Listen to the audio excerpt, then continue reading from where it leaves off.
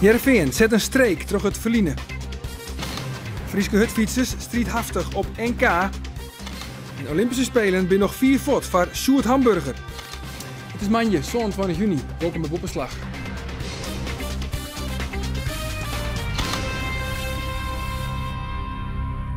Goejoen. In de komende 24 minuten wil je weer heel bijpraat wat de Frieske sport onbelangt. En jonkende alnemende onderwerpen, ek nog de tweede oorlevering over de minder valide sport. En deze week een portret van rolstoeltafeltennisser Magan Tahir Yusuf. Dat aansen nou eerst het laatste nijs over het betellen voetbal. Gerald Sibon is weer waarom bij sportclub Jereveen. Na één seizoen in Australië strikt de 22-jarige spits Wedel bij de club dat hij een Ierlien geen nieuw contract meer kreeg. Sibon tekent in Jereveen een contract voor een jaar. Het is de bedoeling dat hij een soort van pinchitter wordt achter spits Bas Dorst. Verder verwacht de club dat hij een rol speelt bij de ontwikkeling van onvallers bij Jereveen. Sibon is de Jeremij Avonso Alves nog hield hij topscutter alle tijden bij de Finsters. Hij skeert onderom de winnende strafskop binnen van Jereveen in de finale om de KNVB-beker tegen FC Twente. Het is de derde keer dat Sibon bij Jereveen tekent.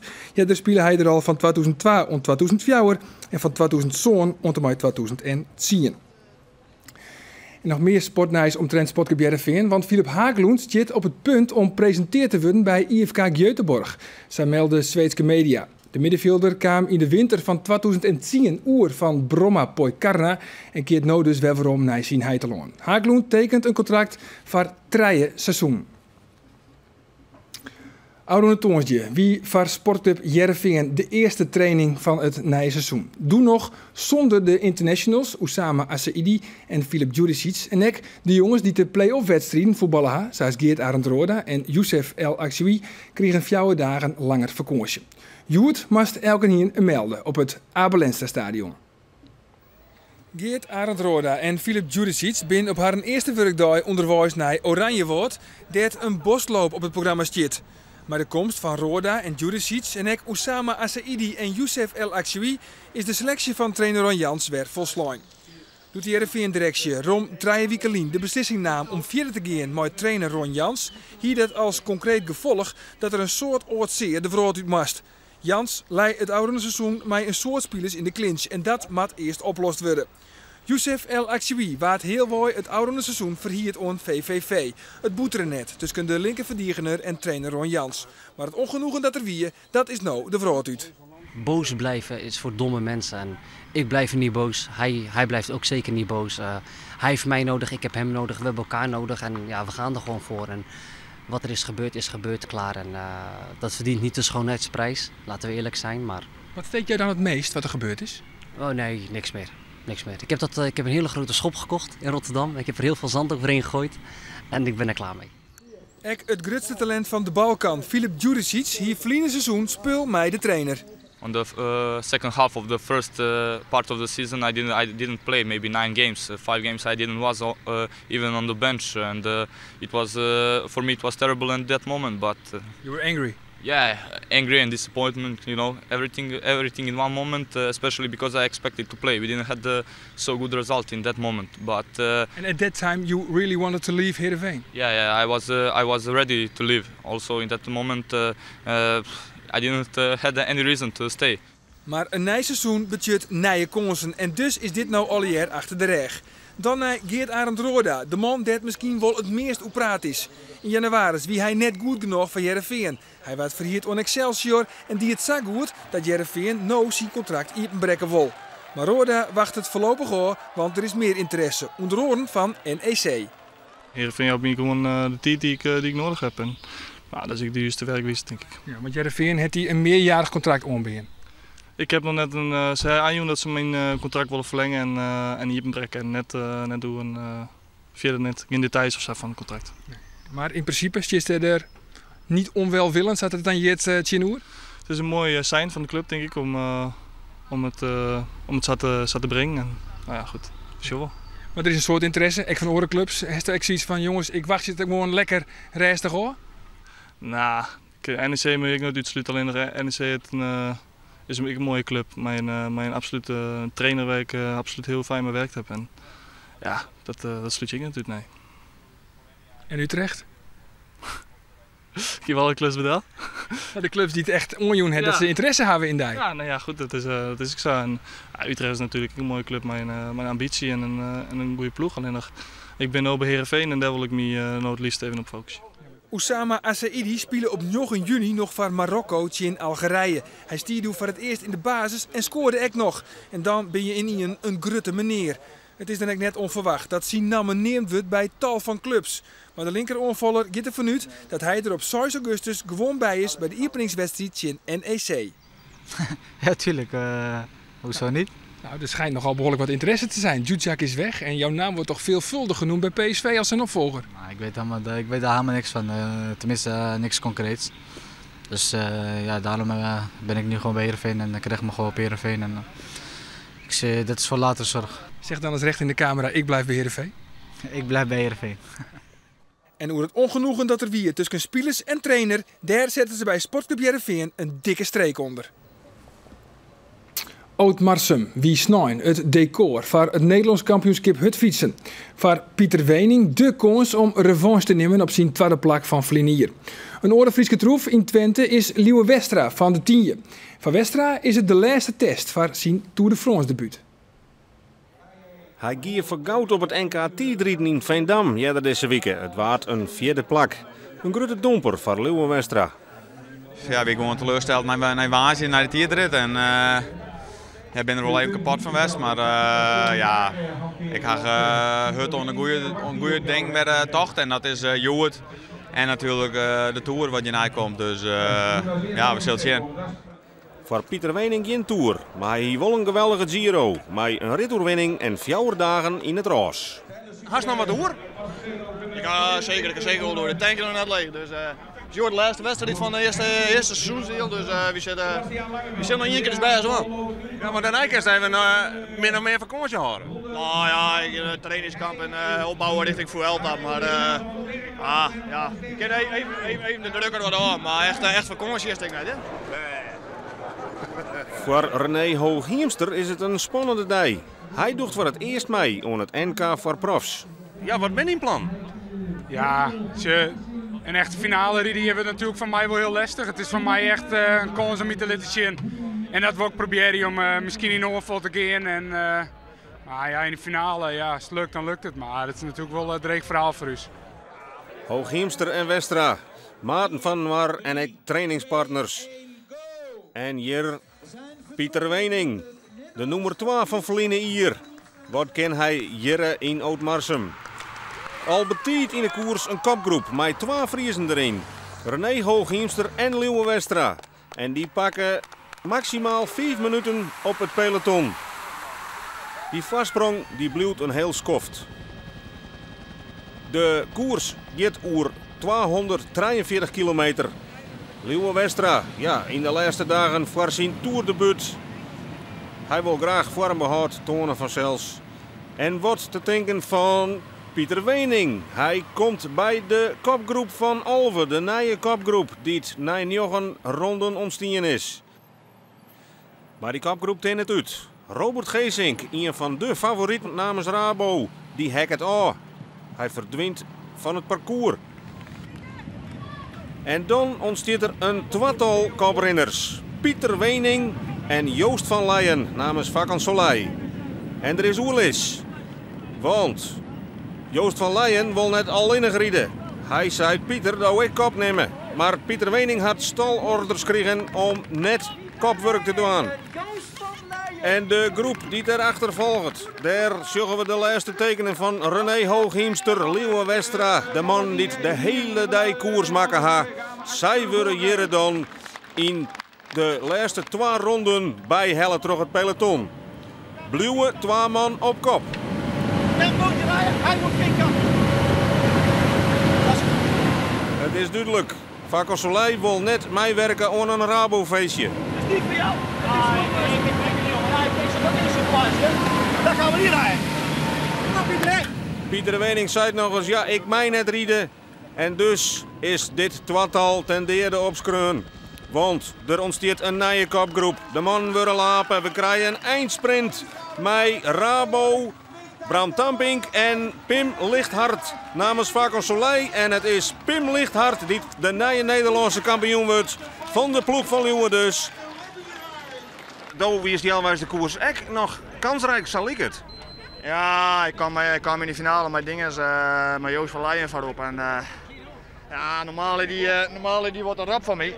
En ja, dan, ja, dan is, is het moeilijk en lastig om daar met te loten Maar ja, vooral hier bom happen, want, want we winnen de koers sowieso. Nou, dus ja, een beetje les van één. Pieter Wening eindigt uiteindelijk als zo'n 30ste. Luwe Westra wordt 40ste. Tot drie rond Vertijn uh, leeuwde erin en uh, toen kwamen ze heel hard weer om. En, uh, ja, gelukkig uh, wint Pim en daar ben ik echt heel blij mee dat, dat we toch de kampioen in de ploeg gaan. Hoe kan dit nou? Wat een dag. Viel het als een slag NK, die eerste heren? Ja, tuurlijk. Er was hij graag zien tussen die grote man. En uh, ik denk als dan in een kopgroep komt met uh, Geesink, ten Dam, uh, al die toerman. Ja, dat is het dan gewoon wel, uh, wel heel goed in haast. Ik heb een heel goed gevoel ik nou in Frankrijk, want uh, ja, ik, ik, ik viel hem echt heel goed. Wat hast voor jezelf voor die eerste toer ten doel stelt? Ja, probeer je een rit te winnen. Maar gewoon een beetje mij zitten, maar uh, alles is mogelijk. Dus uh, als hij een goede ontsnapping zit en, uh, en als je fort als je dan, ja, dan kun je winnen. Verder Leeuwen, dan mag ze er maar om denken. Zeker weten. Ja, en Liewe Westra, het beest, zet morgen zijn ploeg van Kansolijn naar Frankrijk. En de Tour de France die zet dan sneun uiteen. Je we roeien. Want roeier Sjoerd Hamburger maakt het tweeën de oerstap van de skif, dat is de Iermonsboot, naar de 8. En stond die roeide hij bij de Universiteit van Oxford en in de Holland 8. En bij dat team is er drok dwande met de tarrieding op de Olympische Spelen van Takomir in Londen. De ploeg moet hem daar nog van kwalificeren. En om u te vinden hoe het thema zit, zochten we Sjoerd Hamburger op bij de wedstrijden om de Hollandbeker in Amstelveen. De omstandigheden voor een mooie roeiwedstrijd binnen snijn perfect. Het is prachtig daar en er is dan ook een soort publiek op de bosbaan. Een goed moment voor de Holland 8 om Chantelitten hoe vier ze binnen met haar tarriedings voor de Olympische Spelen. Bij de finish treffen we Stuart Hamburger. Eind 2009 besluiten de Friers om de oerstap te maken van de Skif naar de Holland 8. Het doel Takamir is goudhelje op de Spelen in Londen. Het is gewoon tijd voor een nieuwe uitdaging in Nederland en het is een... Uh besloten werd om, dat, om de, de Holland 8 het vlaggenschip te maken van, uh, van de Nederlandse, het Nederlandse mannenroeien. Dan moet je daarvoor gaan en dat, uh, dat heb ik geprobeerd. Dus het is eigenlijk heel leuk.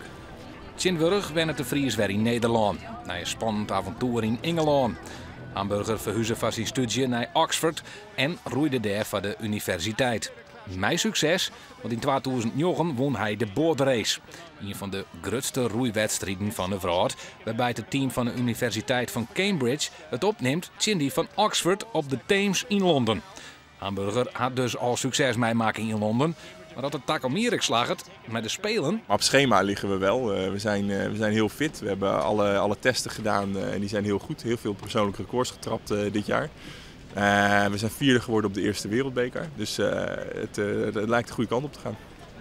In de prijzenkost van Stuart Hamburger is nog ruimte voor een Olympische medaille. In 2008 in Peking slagen het de Friers net om in de skif bij de laatste treien te komen. En dat met Takamir dus oors. Als je erheen gaat, dan ga je erheen om te winnen. En uh, dus is het heel belangrijk om een medaille te halen. Aan de andere kant, uh, als je geen medaille haalt, is je spelen dan mislukt. Nee, dat hoeft helemaal niet. Als je een ontzettend goede race roeit en er is niks op aan te merken, nou, dan moet je achteraf blij zijn. Maar het is duidelijk dat wij uh, erheen gaan om een medaille te halen. Een goede race roeien. Dat is echt het doel bij deze wedstrijd, Joert. De Koninklijke Holland Beker. Echte concurrenten binnen de Nevers Hamburger net. En Nevers hem maar het slaagje om bij een vastsprong van maar liefst 10 seconden te winnen. Kijk, voor de wedstrijd wordt de strategie nog even terugpraat. En dan moet het gebeuren. Een mooie kans om rust te zien wat Sjoerd Hamburger zijn rol is binnen deze ploeg. Ik zit in principe in het uh, vooraan in het middenschip. Dus ik zit een beetje in het, het technische gedeelte van de, van de krachtpasters. Ik zit in, voor in de motor van de boot, zoals dat heet. De plaatsen 3, 4, 5 en 6. Uh, het belangrijkste is dat je gewoon heel veel kracht levert. Dat moet je allemaal. En uh, omdat ik wat dichter bij de slagen zit, de mensen die het ritme aangeven, moet ik ook heel erg zorgen dat het ritme wat vooraan opgezet wordt, dat dat goed doorgegeven wordt aan de rest. Maar het belangrijkste is gewoon heel hard je best doen. Het feit dat je, dat je vaak onder enorme druk wedstrijden hebt gevaren. Ik bedoel, dat zijn de Olympische Spelen, dat is twee keer de boat race. Dat je daar grote verantwoordelijkheden hebt, hebt gedragen. Dat helpt natuurlijk gewoon. Het is gewoon het feit dat je, dat je minder onder de indruk bent van, een, van, van de dingen die er allemaal bij komen kijken bij een groot WK. En, dat, dat scheelt natuurlijk en dat heb je, dat heb je voor iedereen. Iemand die veel, veel WK's gevaren heeft, die is daar gewoon iets, iets ontspannender in. Dus dat, dat helpt absoluut. De ploeg van Hamburger werd de wedstrijd s'avonds voor zijn te winnen.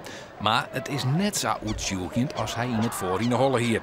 Maar de vastsprong van 10 seconden op een nummer 2 wordt het zeker net. Nee, ik vond eigenlijk dat minimaal 10 had moeten zijn. En uh, ja, je merkt gewoon dat het net niet zo soepel loopt als je zou willen.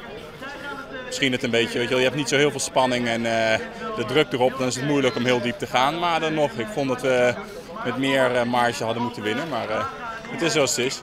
De ploeg zit nog net op het niveau dat ze wezen matten. Al mat je Nevers Hamburger ik net te betier pieken. Teamgenoot Matthijs Vellinga kan hem fine in die conclusie. Vellinga is een roeier mij ondervinding. Op Olympische Spelen in Athene in 2004 helle hij zilver met de Holland 8. Hoe zorgt hij daar al van Sjoerd Hamburger binnen de Nederlandse ploeg? Ja, Sjoerd is een heel sociaal iemand. En uh, ja, hij is wel echt een teamsporter. En, en, en daarentegen heeft iedereen ook in de boot wat, uh, wat je moet hebben... is dat je jezelf individueel uh, heel erg weet te pushen elke training. Dat heeft hij zeker ook. Het trainen, dat zal de komende tijd nog neder wezen. Want na het resultaat van Juster kan concluderen worden dat de ploeg van Sjoerd Hamburger er nog net is. En kan voelen ze dus wel in de prijs. Dan nog een paar berichten, want gasbaanracer Theo Pijper had het weekend in Noorwegen de tweede Grand Prix van de vrouwtitel won. Pijper wie in de finale sterker als de Duitser Richard Spijzer en de Fin Jonas Kielme Korpi. Kielme Korpi is nooit twee races, de leader in het algemeen klassement met 44 punten. Pijper zit vijfde met 23 punten. En Amazone Nathalie van der Meij van Makkingen is tweede worden op het wichtige concours Piek van Geesteren. Van der Meij hier met haar hinder ultimo foutleesroen in de barrage. Alleen nog de routinier John Whittaker uit Engeland wie ek zonder fouten en hij wie ik nog eens vlugger. In de strijenloek, oer sporters mij in behinding, kon je vlien weekend naar de rolstoelrugbiers van Drachten. Joert stiet iemand centraal, Magan Tahir Yusuf. Hij is op een dramatische wijze in een rolstoel te lonen kwam, maar had toch een Olympische dream. Hij wil als rolstoeltafeltennisser naar de Paralympics van 2016 in Rio de Janeiro. In 1992 uh, was ik in Mogadishu. Oorspronkelijk kwam ik uit Somalië. Uh, mijn vader en ik uh, uh, zaten we in de town in, die tijd. En in die tijd was Somalië ook een burgeroorlog. En ze hebben een bom in de huis gegooid waar wij zaten, zeg maar. En daardoor zit ik in een rolstoel. Grote, zeg maar, knalharde bom. En dan viel ik gelijk op de grond. Uh, wat ik zag is het heel veel bloed. bloed en uh, vanaf dat moment kon ik niet meer staan. Ik herinner heel goed uh, die dag en, alles wat gebeurt. ja, dat is een heftige dag geweest.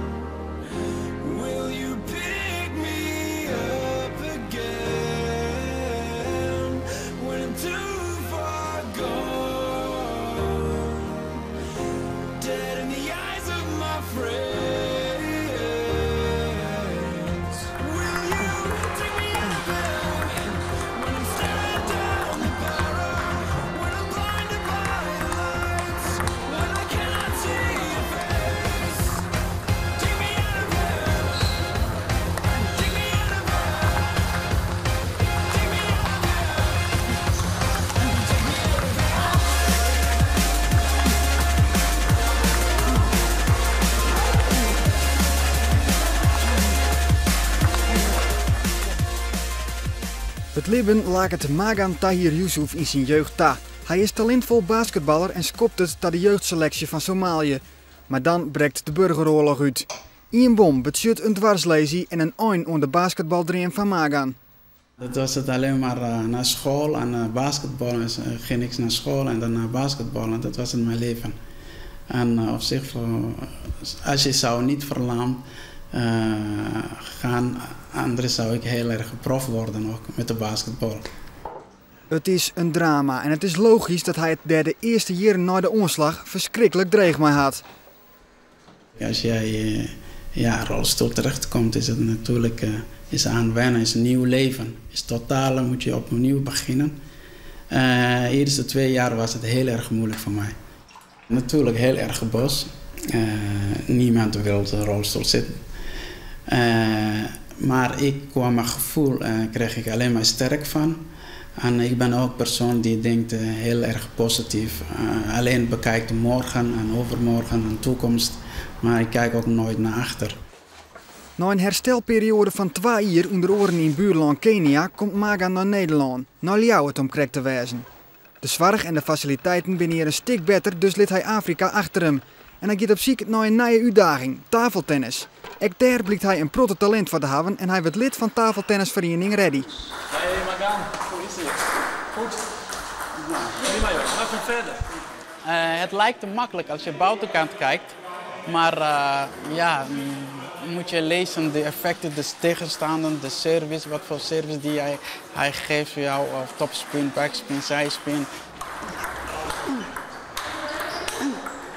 Magans ontwikkeling gaat maar grote sprongen. Hij wordt op vlucht de beste rolstoeltafeltennisser van Nederland en traint dan ook het liefst mensen zonder handicap.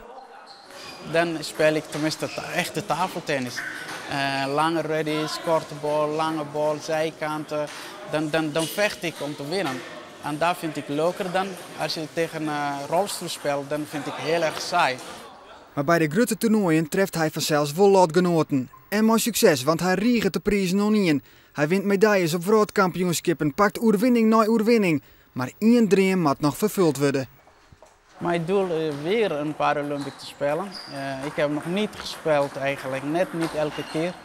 Maar uh, 2012 Londen, het is uh, moeilijk vind ik om om te halen. Omdat het is nu al een korte periode.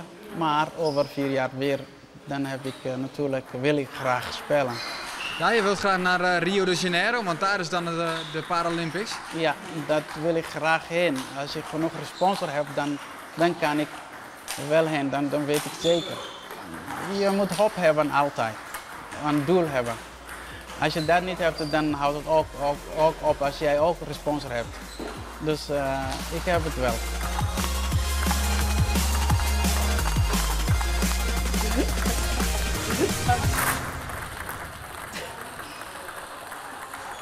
Ja, leuk. En week het laatste deel van uw strijdlook hoe sporters mij een behinding. Dan komen we onder in de kunde met Daphne van den Broek. Ik zei vol naar de Paralympics en wel als rolstoel basketbalster. En het is hier, deze uitsturing van Boppenslag. Nou dadelijk keer we naar het Frieske Nijs in Joert. Dag.